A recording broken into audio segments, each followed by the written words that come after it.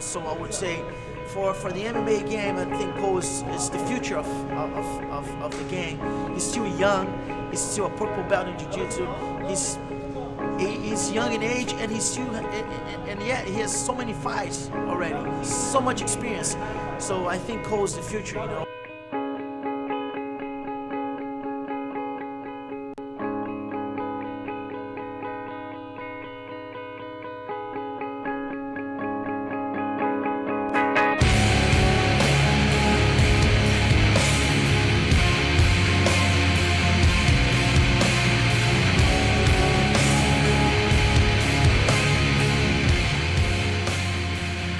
Cole Miller, 24 years old. I'm a professional mixed martial artist. A guy that I went to school with who graduated a couple years ahead of me came into my shop and he, he had two black eyes and I, you know, I asked, you know, what happened to you? And, um, you know, who kicked your ass? And he, he said, uh, oh, I train mixed martial arts. You know, I was like, there's somewhere to do that in Macon, Georgia. I came to the gym and got tapped out all over the place by everybody. And I was like, you know, this is for me. This is what I want to do. I, I originally met Cole when I lived in Georgia. I was uh, I was there for about six months uh, training out there, and uh, he had just started training when I met him. I think he was 17 at the time, and he just he wanted to do it. I knew when I met him that he wanted to do it, and I I wasn't a believer. You know, he was like six foot two and 130 pounds, and it's like wasn't an intimidating looking guy, hair flying all over the place, and was the last guy you'd be worried about in a dark alley, and. Uh, he just he trained hard and he built his body up and he got all the skills he needed and you know right now he's he's on top of the world you know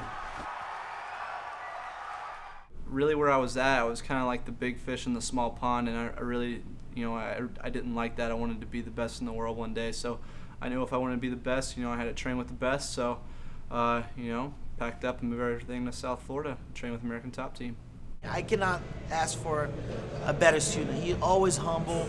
He's always willing to learn. He's very good in learning new techniques. He picks up things really fast.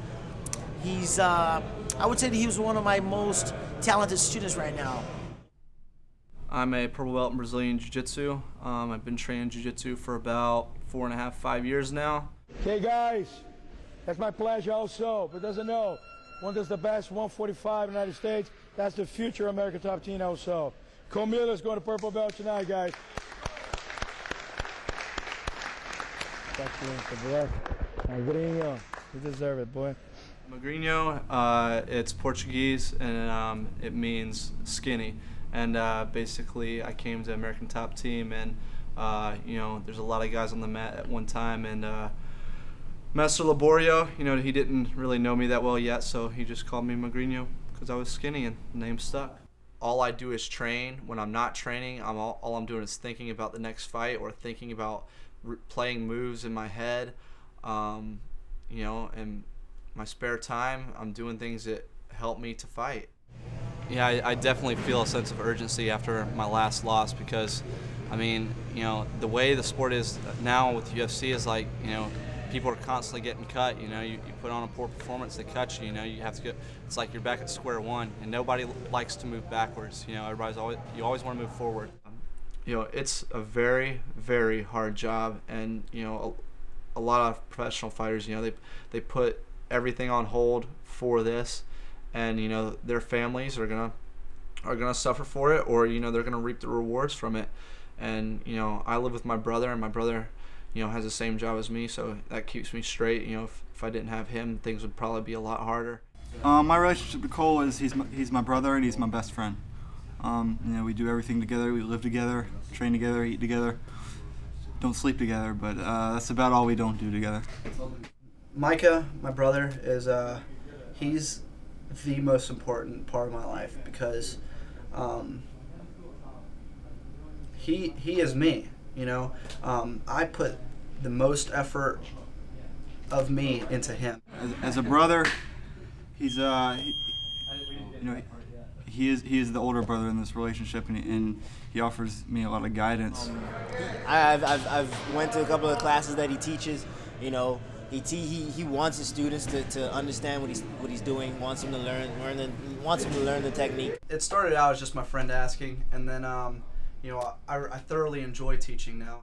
sometimes I'll come in here and I'll train these guys and I see how hungry they are and how determined they are, and then it'll make me pull up my old fights and you know I, I can see a little bit, a little more, you know, hunger in me back then, you know, and it helps me, you know, get that same hunger back. Like that's the kind of guy he is. He's like whatever's gonna make me better, I want to do it. You know, that's the kind of athlete he is.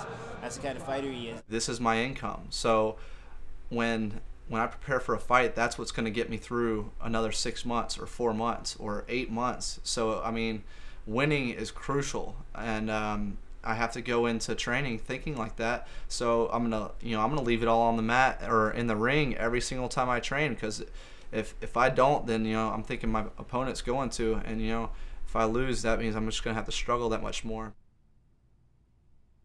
First time I felt like I belonged in the UFC um, was when I fought Andy Wang on June 23rd, um, 2007. have a clear advantage if you got the fight to the ground. Oh, big, kick, down goes Wang. And he's in big Cole trouble. Miller trying to finish it. That kick landed square. And he's still in big, big trouble. And it is all over. Cole Miller defeats Andy Wang. wow. What a huge kick. I would really, really like to start getting on main cards or really get my fights being shown on TV. And then after that, I'd like to be, you know, on the main cards and then make a main event and then, you know, hopefully win a title. So I got everything, you know, planned out from short term to long term from here on out. He's got the the heart and the drive to be the best in the world, and I think that uh, you know he physically has the ability. So it's just a matter of time before he achieves his goals. Um, whether it's standing on the ground or in the clinch, I'm going to be constantly working. There's going to be no rest. It's going to be nonstop action, and I would like the rest of my career to be like that. You know, n- n- it's not stop and go. It's not you know time to think. I just want to go, go, go, go, go, go. So that way, when everyone else is starting to get tired, I'm just getting started. I think that you know fighting is me. Uh, it's not like most professional athletes where you know people try to say or actors try to say you know you know this you know doesn't define who I am. Um, I mean fighting does define who I am. It's all I think about and it's all I am.